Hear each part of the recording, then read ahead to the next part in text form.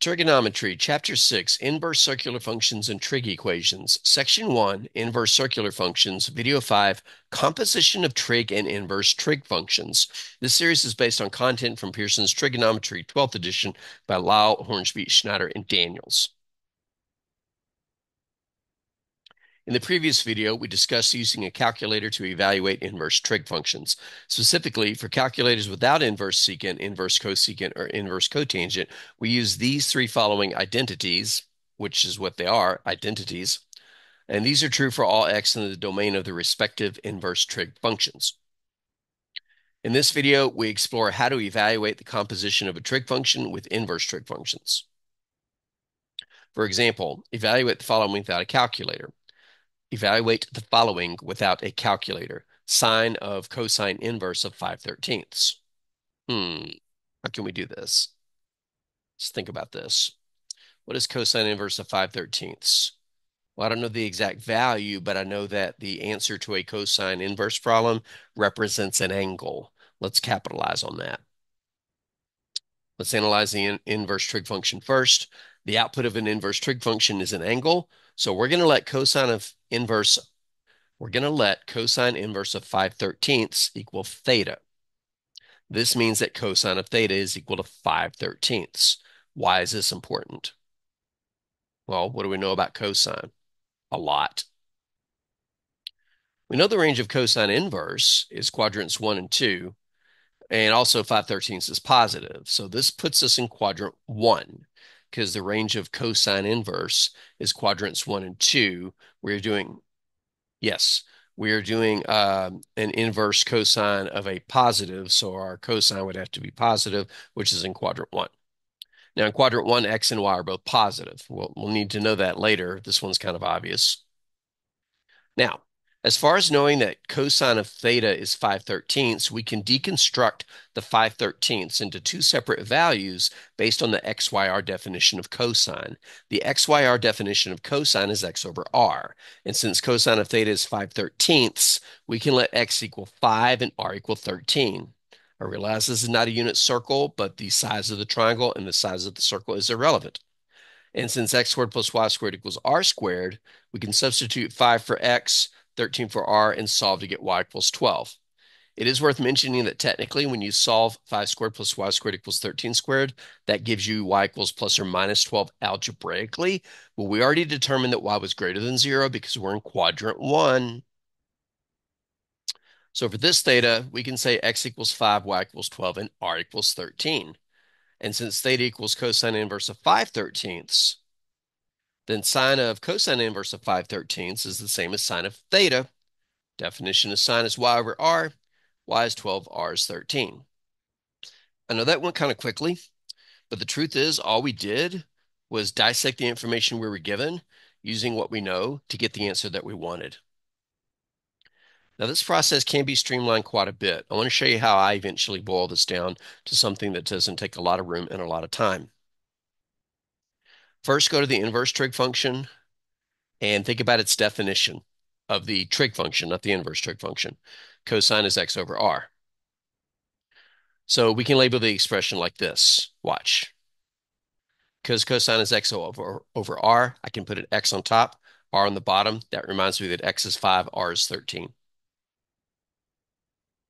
Now the ratio is positive, so we're in quadrant one. And by the way, if the ratio is positive, we're always in quadrant one. It doesn't matter what inverse trig function you are.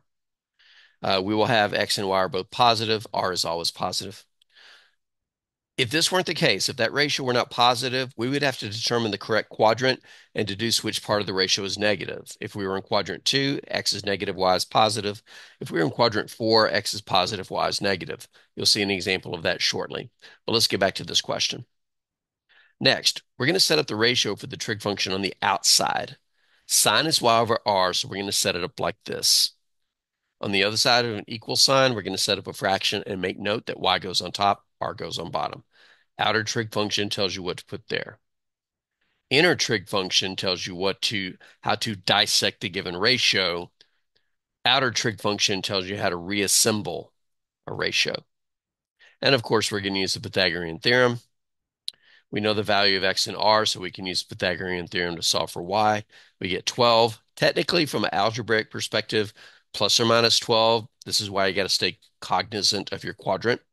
And now we can just build our answer. We have r is 13 and y is 12. We're going to take a look at another one using this approach.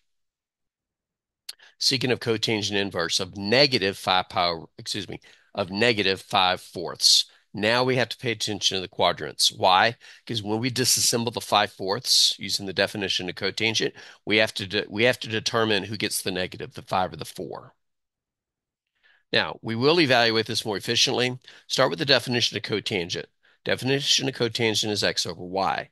So x on top, y on bottom. Now let's think about quadrants. The range of cotangent inverses quadrants 1 and 2. Go back and look at the table if you didn't know that. Since negative 5 fourths is negative, we use quadrant 2. Remember, everything's positive in quadrant 1. Now, in quadrant 2, x is less than 0 and y is greater than 0. So the negative in front of the 5 fourths will go with the x. x is negative 5, y equals 4.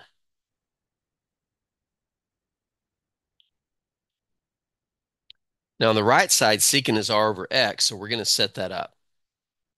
The outer trig function, we set up its ratio on the right side of the equal sign, and now we got to figure out what r is, but that's just the Pythagorean theorem.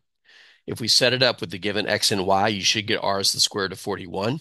Remember, r is always positive. x and y can be negative dependent upon the quadrant.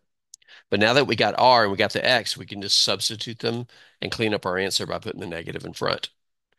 I really think that this flow, where you go to the inner tr inverse trig function and look at it as a regular trig function to set up the ratio, to dissect the fraction into two parts by determining the correct quadrant, and then using the outer trig function to set up the ratio for your answer, Pythagorean theorem to get the missing piece, and then build your answer. I think this is the most straightforward approach, in my opinion.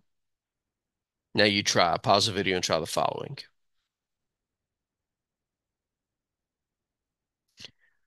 Spoiler alert, if you haven't paused the video yet, solutions in three, two, and one. For A, tangent is y over x, so 15 is y and, and 8 is x. Pythagorean theorem gets us r equals 17. Cosine is x over r, so it's x over 17. Second one, you got to be a little more careful because of the square root. Using the inner trig function, secant is r over x, so r is 5 squared of 2 and x is negative 3. Mind your quadrant, but honestly, r is never negative. So if you have a negative ratio and one of the letters is r, the negative goes on the other. Using the Pythagorean theorem carefully, we get y is the square root of 41. And so cosecant is r over y, which ends up being 5 squared of 82 over 41.